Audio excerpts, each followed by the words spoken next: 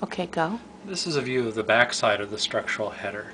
You can see that it runs across the shoulder section of the piece and it anchors into the original structure as well as the um, tacking blocks or the tacking, or tacking rails that I had uh, created and set into the structure.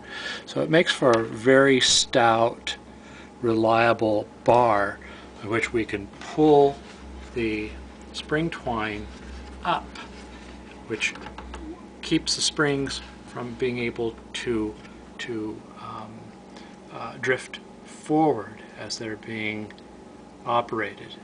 Over time, these springs wanted to arc forward. I, we could see this in the patterning uh, prior to um, taking the um, original springs out.